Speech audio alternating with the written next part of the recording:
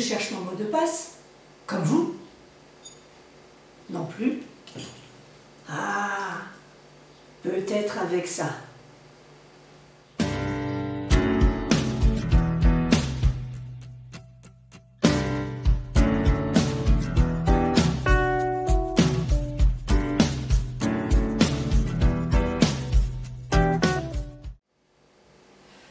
Bonjour, je suis Emmanuelle Trégaro, je suis formatrice dans le numérique et je coach et j'accompagne les entrepreneurs novices en pratique informatique à optimiser leur temps de travail sur ordinateur dans leur quotidien professionnel.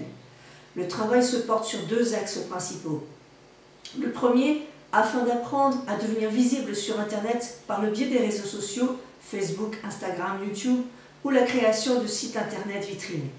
L'axe 2 se focalisera sur l'utilisation de la bureautique pour simplifier et automatiser les activités de bureau telles que des tableaux de bord sous Excel, courrier sous Word, présentation sous PowerPoint par exemple.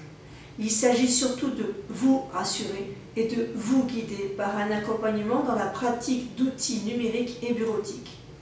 Lorsque je commence une séance de travail avec mes clients, je les entends bien en peine avec leur connexion aux différents sites internet avec lesquels ils travaillent, à savoir leur login et mot de passe.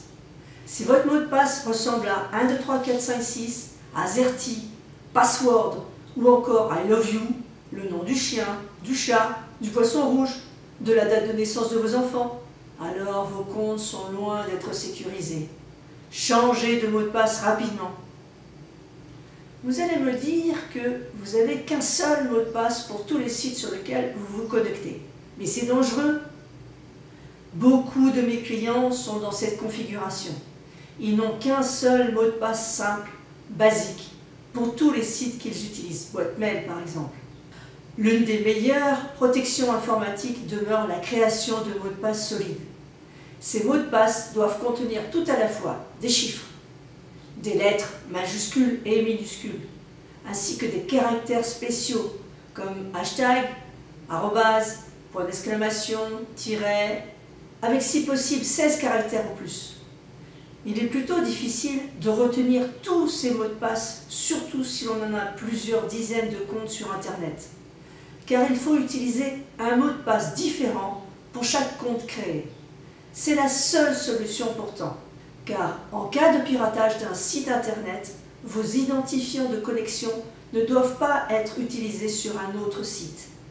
C'est justement ce procédé qu'utilisent les pirates car la majorité d'entre vous utilisent un à deux, à deux, voire trois mots de passe différents, et en plus ils sont souvent faciles à trouver par des robots spécialisés. Si les mêmes codes sont utilisés sur différents sites, les pirates peuvent facilement accéder à vos autres comptes.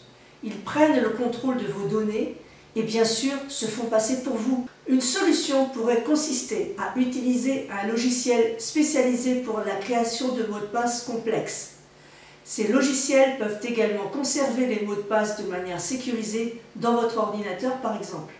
De ce fait, ces logiciels protègent vos identifiants de connexion avec un mot de passe unique qui vous donne accès à tous vos identifiants et mots de passe.